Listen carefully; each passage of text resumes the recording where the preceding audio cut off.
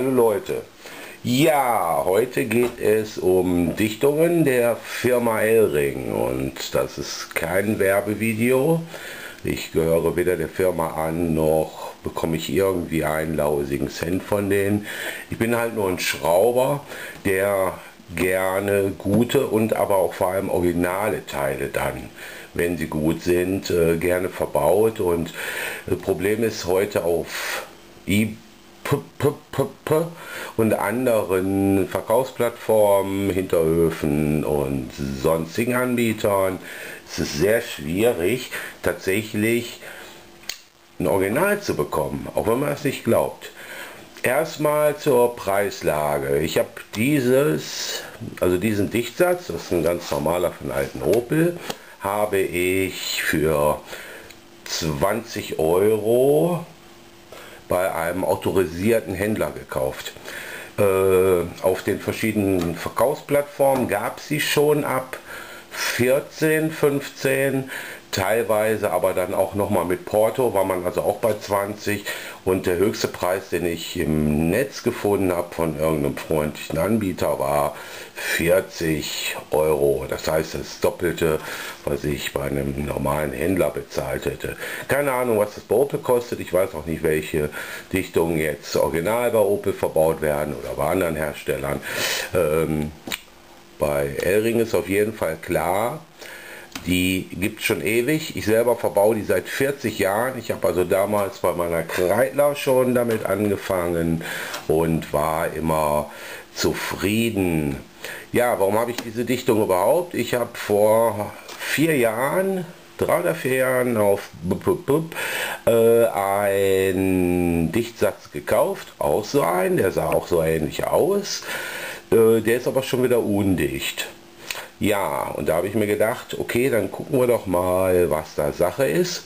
Also, ist vom lizenzierten Händler inklusive der Schrauben. So, und keine Ahnung, was ihr für Teile habt. Ich zeige euch jetzt, was auf jeden Fall ein Original haben muss. Das Original muss, das ist jetzt hier beschädigt, das habe ich selber gemacht, weil ich bin mit Moped zum Händler gefahren, musste den Dichtsatz irgendwo dranhängen, damit der nicht knickt. Also habe ich einfach reingemacht, mit der eine Lenker passte. So, aber im Normalfall sollten die nicht beschädigt sein. Vor allem nicht im Bereich der äh, Metalldichtringe. So, hier auf diesem sehen wir schon von außen, okay, alle vier Dichtringe sind miteinander verbunden, also sind aus einem Guss. Bei vielen Dichtsätzen, die ich sehe, sind die einzeln. Und auch beim letzten, tatsächlich, den ich gekauft habe, war das einzeln. Ich könnte mir vorstellen, dass es schwieriger ist, so einen ganzen Vierersatz herzustellen, als vier einzelne, die irgendwie plus minus mehr oder weniger passen und die man dann einfach in so eine Vorgabeform reindrückt. Okay, so viel dazu. Hier haben wir das Siegel und die werden mittlerweile auch nachgefälscht. Man kann auch im Netz bei Elring selber schauen, wie man da Fälschung erkennen kann. Ähm, so, das spiegelt ganz schön. Mein Gott, das spiegelt die Kamera. Ähm, ihr seht, dass das hier mit der Farbe kippt, dass das Tiefenwirkung hat. Äh, auf der Firmenseite wird erklärt, dass die Fake-Nummern aufgedruckt sind. Hier sind die offensichtlich ausgespart. Das sehen wir aber gleich erst, wenn wir den Aufkleber abhaben, ob der tatsächlich durchlässig ist. Äh, Fälscher aus China und aus dem Ostblock drucken einfach die Nummer hier oben oder unten auf. Das ist dann auch wahrscheinlich in der Regel äh, meistens dieselbe Nummer, weil es natürlich keinen Sinn macht, ständig diese Nummern zu ändern. Aber okay, auch die arbeiten heute mit Computertechnik, muss man also dann schauen. Also hier bei dem Dichtsatz und der Beurteilung, ob der original ist oder gefaked, kommt es auf die Gesamtheit der Faktoren an. Ein so ein Siegel kann jeder fälschen. Wenn aber wirklich alles gefälscht wird, ist der Aufwand in der Regel für den Fälscher so hoch, dass es sich nicht mehr lohnt. Weil diese Sätze werden irgendwo in China für einen Euro gehandelt.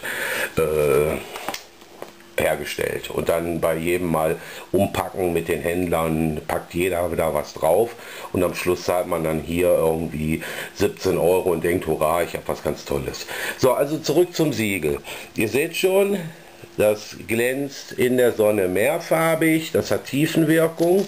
Wenn ihr eine Lupe nehmt, könnt ihr sogar hier lesen. Moment, ich hole mal eine. So. Gucken, ob das klappt. So. Hier seht ihr unter diesen Punkten, in diesem Punkt hier in dem letzten, neben dem L-Ring-Zeichen, das auch fluoreszieren muss, soll normalerweise ein E drin sein. Also ich kann hier keins erkennen, aber was ich erkennen kann, ist, dass unter Kunstlicht und unter richtigem Licht auf diesem Streifen, der unter den Punkten ist, den ihr hier genau in der Mitte seht, der jetzt so ein bisschen gelblich aussieht, dass da einmal L-Ring draufsteht und wenn ihr das unter ein anderes Licht haltet, dann steht da das Original drauf tatsächlich. So, hier haben wir die Nummer. Das kann man natürlich ganz schlecht sehen, ob das aufgedruckt ist oder durchgeschnitten, weil es unten drunter mit der Farbe etwas schwierig ist. Das gucken wir aber gleich beim Abreißen nochmal. Auf jeden Fall auf diesem gelben Balken hier in der Mitte muss einmal L-Ring draufstehen und bei anderen Lichtverhältnissen, also äh, einem Kunstlicht, muss das Original da stehen tatsächlich. Das ist echt in Mikroschrift. Das kann man so ohne Lupe gar nicht lesen. Ja.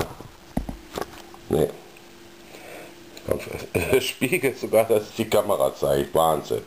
Ähm, also schreit nicht gleich rum, wenn ihr das äh, nicht erkennen könnt. Äh, wenn ihr es aber können, kennt, äh, erkennen könnt, dann könnt ihr schon so ziemlich sicher sein, dass das ein echter Dichtsatz ist. Der auch dann hinterher echt dichtet. Gut, das hätten wir erstmal soweit geklärt. Da aber viele gar keine Lupe haben. Na, ja, Pannen müssen sein. Ne? Also äh, das Ding hier kostet nichts außer Zeit und Arbeit, also bitte nicht rummeckern. So, äh, der Satz muss erstmal einen guten Gesamteindruck machen. Das heißt, das ist ordentlich, die Folie ist ordentlich verschweißt. Die geht nicht wie bei manchen Dichtsätzen hier irgendwo mit äh, Knüssel, Knassel, sondern da kann man sagen, obwohl er wahrscheinlich gar nicht in Deutschland gefertigt wurde, hat der eine deutsche Qualitätsverpackung. Also das sieht alles sehr gut aus und auch wenn man die Folie aufreißt,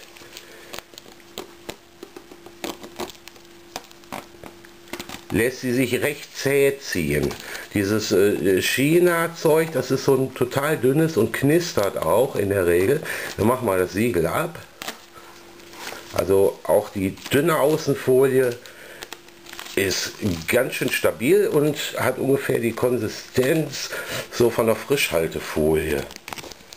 So, hier haben wir das Siegel nochmal und tatsächlich, wenn man jetzt schaut, das helle unten am Bildrand ist tatsächlich die Nummer. Also die ist tatsächlich nicht aufgedruckt, sondern man kann durchschauen das ist auf jeden Fall der Beweis. Also das ist äh, jetzt so leicht nicht fälschbar und der Aufwand würde dann nicht mehr dem Preis des Satzes entsprechen. So, jetzt zeige ich euch das Siegel nochmal. Das könnt ihr euch aber auf der Hellring-Seite auch angucken. So, ihr seid aber jetzt draußen, habt bei irgendjemand was bestellt oder der Dichtsatz ist ins Haus geflattert. Das ist übrigens auch eine sehr opake Folie, also eine sehr durchscheinende, sehr, kann das sehr gut durchgucken. Also es ist eine Qualitätsfolie. Das wird bei Nachbauten nicht der Fall sein. Auch ist das Siegel rückseitig natürlich lesbar und schimmert auch hier in diversen Farben. Ich glaube nicht, dass sich ein Fälscher da die Arbeit macht.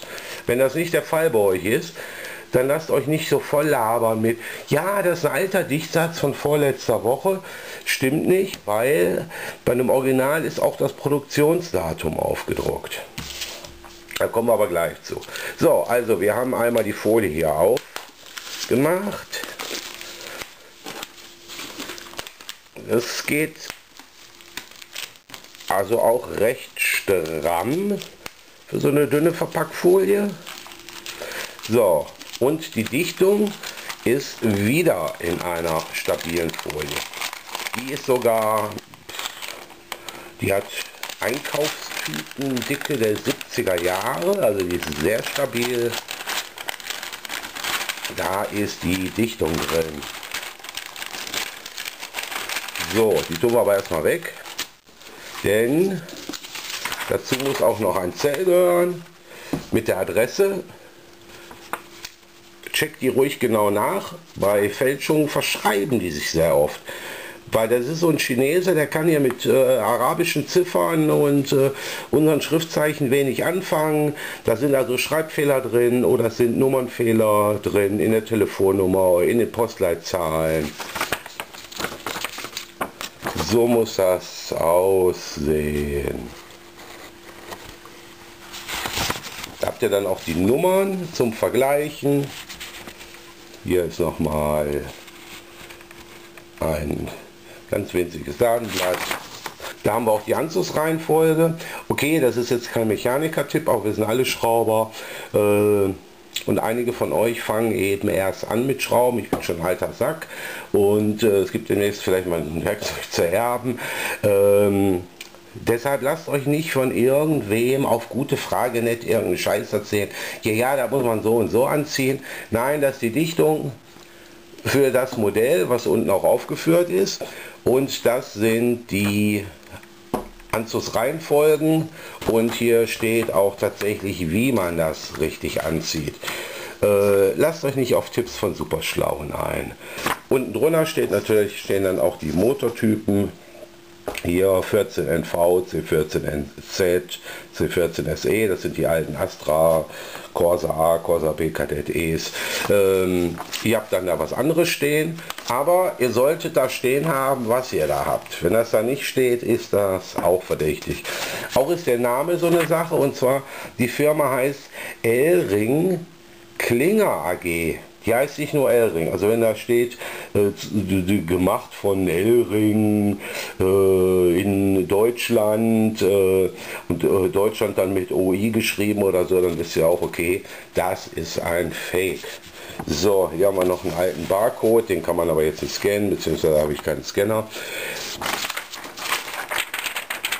Schaut euch das Papier an, so muss es äh, steht schon fast von allein. Also das ist äh, fantastisch, das ist bei so Nachdruckgeschichten auch nicht der Fall.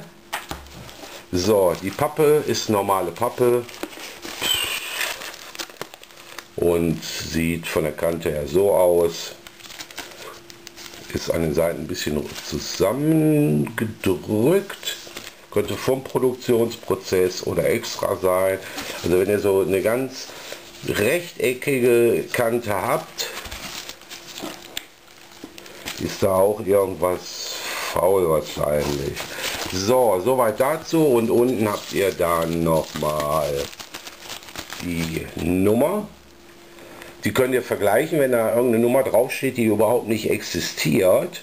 Äh, seid ihr auch reingefallen? Also die muss im Netz nicht nur beim, bei dem Verkäufer und vielleicht noch drei anderen Leuten, die alle irgendwo ihre Verkaufsläden in der Nähe der polnischen Grenze haben und äh, deren Betreiber oft auch Polen sind. Sorry Jungs, ich will euch da nichts. Ähm, ich sage nur, wie es ist. Ähm, also schaut, dass ihr diese Nummer findet. Unten ist die Barcode-Nummer dann jeweils nochmal. 4 wäre wichtig, weil das für Deutschland steht, ähm, dass in Deutschland hergestellt worden ist. Ja, könnte aber natürlich auch woanders hergestellt sein, weil die Schrauben zum Beispiel kommen tatsächlich aus einem anderen Land, da komme ich aber gleich zu. So, also wir haben hier den Barcode, dann haben wir hier nochmal L-Ring Germany und dann haben wir das Produktionsdatum. Das ist der 24.02.22, ist also jetzt vier Monate alt. Da die Dichtung nicht nur aus dem Metall besteht, was jetzt zugegebenermaßen nicht altert, aber auch aus einer äh, Kunstmischung, wie auch immer, hab vergessen wie die heißt, altert die natürlich, weil das äh, Kunststoffe enthält, Kunststoffe altern. Ähm, deshalb solltet ihr vielleicht nicht gerade Bei Dichtungen so, hurra, ich habe jetzt so eine Originaldichtung von 1991 hier, die seit 20 Jahren im Schaufenster von der Sonne aufgefressen wird oder sonst irgendwelchen Behandlungen ausgesetzt wurde. Bei neu bestellten Dichtungen kriegt ihr auch ein relativ zeitnah hergestelltes Teil. Also das kann ein Jahr oder zwei alt sein, das muss jetzt nicht wie hier nur vier Monate alt sein.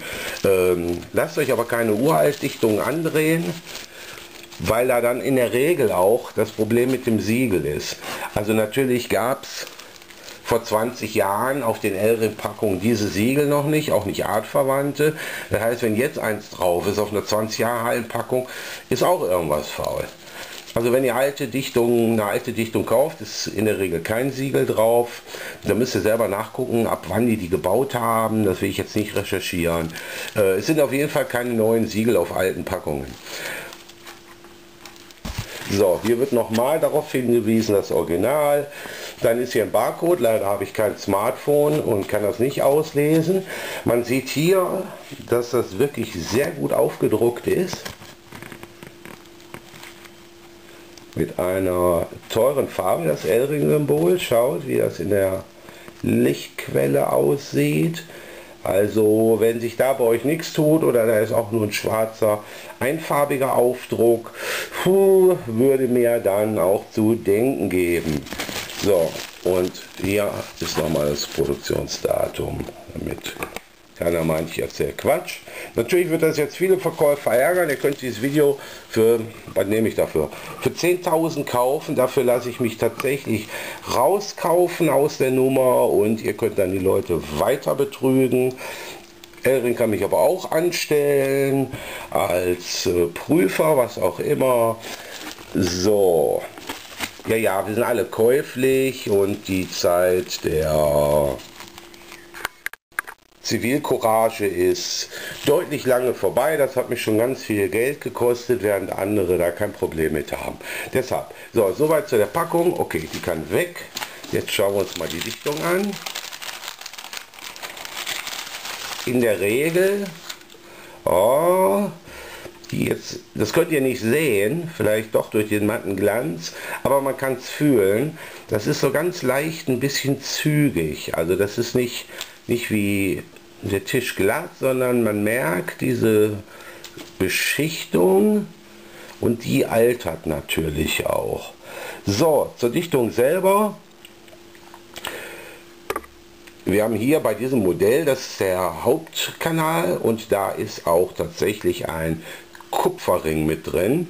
Wenn da keiner drin ist oder da ist irgendwas aufgemalt, ist extra verstärkt, weil da halt der meiste Druck drauf ist, dann stimmt da auch irgendwas nicht. Ebenso, zumindest für die Opel-Modelle, aber auch für andere, die haben, weil es unterschiedliche Dicken gibt, gibt es verschiedene Kerben von ein, einer bis, ich glaube, drei oder vier dann wird die Dichtung immer dicker, weil wenn man den Kopf plant, was jetzt gar nicht so oft nötig ist, wie das auch irgendwelche auf gute Frage nicht behaupten, ähm, dann könnt ihr auf jeden Fall auch eine Dichtung mit mehr Zacken holen und dann ist das in Ordnung.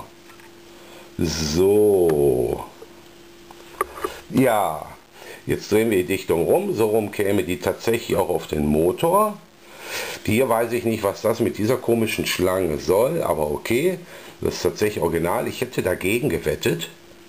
Und hier sieht man auch tatsächlich, auf der Seite sind die Ringe quasi auseinander. Die sind also nicht doppelt verbaut, sondern die werden offensichtlich, wenn das äußere Teil gegossen wird, wird der komplette Satz durchgedrückt und wird dann hinten umgebördelt. Sieht aus wie vier Ringe, sind aber keine vier, ist trotzdem einer, weil die vorne zusammenhängen. So rum kommt die auf jeden Fall drauf. Und wenn das eine Originale ist, dann muss hier auch oben und Top stehen. Manchmal steht da nur top, manchmal steht da nur oben. Äh, oben ist ein gutes Zeichen dafür, dass das aus Deutschland tatsächlich ist oder zumindest für den deutschen Markt hergestellt. Dann scrollen wir hier so ein bisschen weiter und dann haben wir hier nochmal das L-Ring-Symbol. Das ist mit dem Licht ein bisschen schwierig, aber hier könnt ihr es sehen. Das L-Ring-Symbol nochmal eingepresst und hier haben wir nochmal eine Kontrollnummer. Ja, dieses äh, zusätzlich bereits äh, vorher aufgetragene, diese Dichtschlange, das ist äh, fahrzeugabhängig, die sieht bei jedem Wagen anders aus, so wie auch die Lochung. Aber diese restlichen Merkmale müssen halt da sein. Also die Nummer, das Firmenzeichen und tatsächlich der Hinweis. Der Hinweis ist auch auf Belegen hier, äh, was nach oben soll. Äh, da kann man sich jetzt nicht von täuschen lassen. Diese beiden anderen Dinge sind aber in der Regel nicht da drauf, obwohl man hier auch eine Fantasienummer draufdrucken könnte. Aber tatsächlich kann man auch diese Nummer im Netz suchen und die muss dann irgendwo sein. Nicht nur irgendwo bei irgendwelchen China-Produkten und fragwürdigen Verkäufern, sondern die muss dann tatsächlich auch an offiziellen, auf offiziellen Seiten auftauchen. So, ich habe jetzt noch mal den Karton geholt und tatsächlich die aufgepresste Nummer ist identisch mit dieser Nummer. Sieht man also, da ist alles okay, wenn das nicht ist, ist nichts okay. Natürlich werden irgendwelche Verkäufer, die euch Dreck angedreht haben, also dann fetten Reibach mitmachen, irgendwelche anderen Geschichten erzählen, meldet die einfach äh, bei Elring, das ist kein Problem. Ob das weiter verfolgt wird und wirklich einen Sinn hat, weiß ich nicht. Ich habe das mal bei Hella gemacht. Äh, da war man am Anfang sehr froh, dann waren da aber äh, bekanntere Mitarbeiter involviert, also in höheren Etagen und plötzlich wurde nie wieder was davon gehört. Gut, ist aber eine andere Sache. So, soweit zur Dichtung, wisst ihr also Bescheid. Man kann quasi schon am Knistern hören. Es ist echt, lasst es knistern. Und kauft keinen Schrott. Weil es ist, wie, wie, ist wie klebrig. Muss man beim Einbau. Also hatte die vorherige nicht. Die war auch von irgendeinem haha lustig äh, Zubehörmann und äh, ja die brauche ich gar nicht ausbauen, die andere, das andere war eine Fälschung. Das, wenn man nicht immer ganz genau hinguckt, äh, schon wirst du beschissen. So, wisst ihr aber hier Bescheid. So, für eine vernünftige Überholung des Motors sind natürlich auch neue Schrauben nötig für den Zylinderkopf, weil man heute nicht mehr die alten benutzt, die musste man auch noch nachziehen äh, nach einer gewissen Zeit. Ich hatte selber mal einen Motorschaden, da weiß ich allerdings nicht. Ich habe das mit einem Kollegen gemacht und der hat dummerweise die äh, Kurbelwellenschraube angezogen. Ich weiß aber nicht, ob er die nicht vernünftig angezogen hat oder ob wir die tatsächlich nochmal hätten anziehen müssen. Die hat sich auf jeden Fall so nach 400 Kilometer gelöst, auf einer ziemlich weiten Fahrt, wo ich 2000 Kilometer äh, noch vor mir hatte und dann ging es aber erstmal 400 Kilometer in die andere Richtung zurück auf dem Hänger, weil sich die Schraube gelöst hat und die hat den Keil rund gerissen, dann hat sie die Zündung verstellt und dann war der ganze Motor am Arsch. Das waren die Cent nicht wert äh, war eine blöde Keilriemenschraube für unten, die in die Kurbelwelle kommt. Kauft euch die immer neu, egal bei was für einem Auto. Und holt euch auch die Zylinderschrauben neu. Das sind jetzt den Schrauben, ja nicht jetzt, für mich jetzt jetzt, weil ich immer noch bis zur letzten Sekunde die alten Schrauben immer wieder reingedreht habe in die Motoren. Ähm, jetzt soll aber vernünftig halten, weil ich auch keine Lust habe mehr so oft zu schrauben. Also gebe ich der Technik mal nach und sage, ja, okay, wir steigen da um auf den Schrauben. So, der Karton ist auch von L-Ring, also der war mit dabei, da haben wir auch wieder das Original, dann ist da unten das Produktionsdatum. Hm. Ist das überhaupt das Produktionsdatum? Ach, da ist das Produktionsdatum, 25.11.21 steht hier unten auf der Kante und hier oben steht Made in Italy. Komisch, okay, die haben auch diesen Vierer Barcode, aber da wollen wir ausnahmsweise mal drüber hinwegsehen. Hier haben wir auch wieder die Nummer. Die muss man vergleichen können. Wenn ihr das nicht könnt, dann habt ihr da auch irgendeinen fragwürdigen Karton erwischt. So, auch hier glänzt der Aufkleber schön, also der ist wertig, das ist nicht irgendein billiges bedrucktes Klopapier.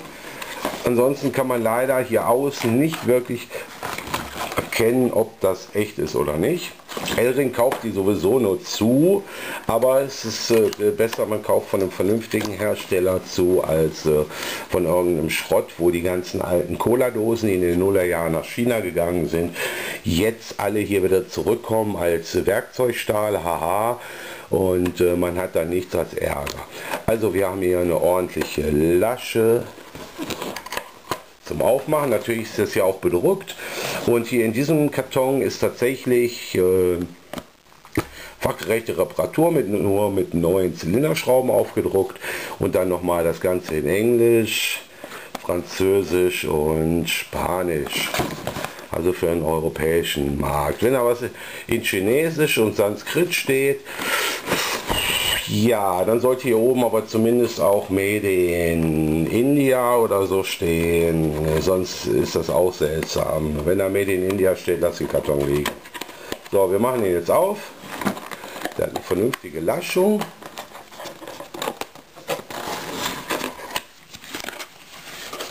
So, da sind die Schrauben. Ja, die Köpfe haben irgendwelche merkwürdigen Runen da drauf, Hieroglyphen. Also so kann man zumindest mal die Qualität checken. Das ist so eine mittelmäßige Qualität. Also das ist äh, ja, ja. Gut, aber wichtig ist, auch die Farbe gefällt mir nicht. Sieht so billig aus. Gut, aber wie gesagt, ist original El Ring, kam vom gleichen Händler. Ist, äh, na, die sind ein bisschen eingehüllt. Na, die sind aber auch schlecht verarbeitet. Kinder, Kinder. Ja, ja, ja, naja, okay. Ja, ich gebe es so, ich mag die Torx-Schrauben überhaupt nicht. Ich kann nicht einsehen, wieso man vom Sechskant wegkam. Den Sechskant kriegt man immer noch los, auch wenn der komplette Kopf verrostet ist. Hier bei diesen Torx ist das so eine Nummer, da muss, der, muss die Nuss tausendprozentig passen. Man muss dann auch immer so eine blöde Nuss dabei haben, weil man nicht sonst eben mal nachdrehen oder rausdrehen oder sonst was kann. Gut, das kann man sagen, muss man am Zylinderkopf auch nicht, aber hier geht es natürlich ums Prinzip. Okay, so sieht die Sache aus. Wollen wir mal gucken, ob wir hier noch irgendwas innen drin für Beweise für irgendetwas finden. Wir ziehen das also raus. Das ist ein Klappkartönchen.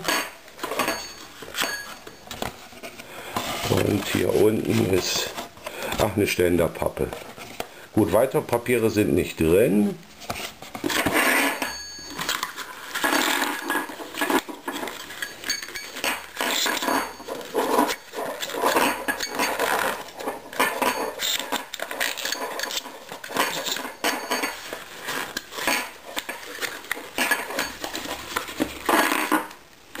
Tja, ne, da lässt sich keine weitere Erkenntnis gewinnen. So sieht das an der Seite aus. Wenn ich jetzt mal hier die Fuchtelprobe mache. Naja, gut. Okay, kann man nichts machen. Wir lassen das da mal auf sich beruhen.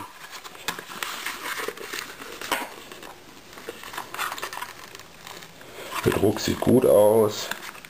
Kann man nass machen, an der Ecke reiben.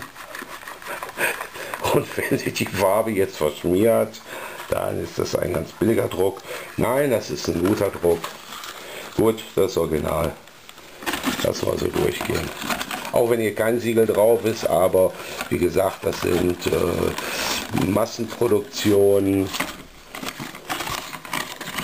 Und ich habe die jetzt auch nur mitgenommen, um das hier für den Test mal zu checken und die mal bei mir reinzubauen. Also die sind jetzt hier nicht Gegenstand der Echtheitsprüfung, aber die sind wohl echt. Also guckt, dass eure auch so ein Etikett haben. Wie gesagt, hier Made in Italy und das Produktionsdatum darunter. Mit dem Barcode, ja, okay. Und das seitliche Zeichen. Und wie gesagt, keine Ahnung, was man hier auslesen kann an dem Code. Ah, hier unten steht noch lring.de. Ja, gut, das war's. So, also, ihr braucht jetzt keine Imitate mehr zu kaufen und wenn euch einer Imitate andreht, dann könnt ihr jetzt auf dieses Video verweisen. Jetzt wisst ihr auf jeden Fall, worauf es bei einem originalen Satz ankommt und was tatsächlich drauf sein muss. Wenn das nicht drauf ist, lasst das. Weil das ist eine scheiß Arbeit, ihr hängt auch als mittelmäßig gute Schrauber hängt ja da irgendwie den ganzen Tag dran. Ganz oft macht man ja dann auch und man sagt, naja komm, ist schon auf, dann machen wir auch den Zahnriemen und ach komm, dann machen wir auch die Wasserpumpe und der Thermostat und so weiter. Und schon seid ihr bei 100, 200, 300 Euro nur an Teilen und das lohnt sich nicht, um A, entweder 10 Euro an dieser Dichtung zu sparen, weil man sie beim Faker kauft, oder ihr bezahlt sogar tatsächlich noch mehr als im normalen Handel. Also guckt auf die Elring-Seite, wo die Vertragshändler sitzen und zu so einem fahrt ihr. Da gibt es äh, zigtausende, also selbst hier äh, bei mir im Kaff äh, gibt es äh, drei tatsächlich. Ich habe mir dann die, ich habe mir dann zwei, äh, zwei kannte ich schon. Dann habe ich mir den dritten noch angeguckt und der wirkte tatsächlich noch vertrauenswürdiger und war auch sympathisch und hat auch äh, die Preise mit seinem Taschenrechner kalkuliert und mir sofort obwohl ich noch nie da war, ein äh, ähm, paar Prozente gegeben. Also war klar, ich kaufe da. Heißt also ein frischer Satz, ganz leckerchen, ganz original, billiger als eine fragwürdige Quelle irgendwo aus dem Netz, wo mir der Postbote dann auch noch, wenn er mir es in den Briefkasten steckt, auch noch ordentlich knickt und ich die dann wegwerfen kann und wieder losziehe. Also ich kaufe ehrlich ganz viel im Internet, schon seit das geht. Ich bin da schon ewig. Ich habe aber in den, über die Laufe der Jahre auch gelernt, was man da kauft und was man da besser nicht kauft. Und die kauft man eindeutig bei irgendeinem Autoladen. So, ja, ich hoffe, ich konnte euch helfen. Ich habe selber für, für diesen Satz als Vorarbeit, ich habe 30 Stunden auf dieser bekannten Internetplattform rumgeschaut nach den angebotenen Sätzen und es war nicht einer, sorry, tut mir leid Leute, nicht einer, wo ich mir 100% sicher sein konnte, okay, der ist original. Es gibt keinen, also äh, vielleicht nicht bei diesem Lichtungstyp, sondern dann, dass irgendwelche Mercedes-Teile Händler dann tatsächlich Vertragshändler von Elring sind. Das kann sein. Aber jetzt hier in dem Opel-Fall gab es leider keinen, der für diese 1.4er äh, Deckel Vertragshändler war. Also bei ne, Scheiße. Keiner der Händler hatte irgend ein originales Foto. Da war dann ein Beispielfoto. Bei einigen ist dann, war dann die Rückseite zu sehen, allerdings mit dem Aufkleber, den man tatsächlich am leichtesten fälschen kann. Keine Ahnung warum, wenn man zwölf Bilder gratis einstellen kann, man tatsächlich nur einmal die Umrisse dieser Dichtung fotografiert und dann auch noch in einem schlechten Licht, sondern irgendwie mit Photoshop erzeugt und einmal die relativ nichtssagende Rückseite. Sorry, ja, da müsst ihr mit leben, liebe Händler. Äh, nicht einer hatte ein Foto, wo man jetzt gucken könnte, okay, das sieht so und so und dann kommt ja das nochmal drauf. Und irgendwo ist auch halbwegs vernünftig, nicht so kreuz und quer, sondern halbwegs vernünftig. Dann der das Echtheitssiegel aufgeklebt, nicht einer. Ja, da muss man auch damit leben, dass dann tatsächlich keiner dann bei einem bestellt. Wenn jemand allerdings ein Foto einstellt, wo der Satz tatsächlich so aussieht, wo man auch sieht, okay, die Dichtung ist nochmal in einer extra Verpackung, oben der Rest macht auch einen guten Eindruck und ist tatsächlich auch die Siegel drauf, auch wenn man erst nach dem Abreißen prüfen kann, dass man da tatsächlich durch die Nummern schaut, aber das ist wie gesagt ja nur ein Punkt von vielen, dann könnt ihr den Satz unbedenklich kaufen auch auf Flohmärkten oder sonst irgendwo. Äh, kann sein, dass es, es gibt Leute, die kaufen Werkstattauflösungen auf und haben dann irgendwelche Teile über. All das ist reell, nur die meisten sind eben halt irgendwelche Betrüger, die euch Dreck aus China andrehen wollen. Ja, jetzt wisst ihr auf jeden Fall, worauf es ankommt und da seid ihr immer auf der richtigen Seite. Wenn euch der Film was genutzt hat und ich euch helfen konnte, dann lasst mir einfach ein Like da. Okay, danke.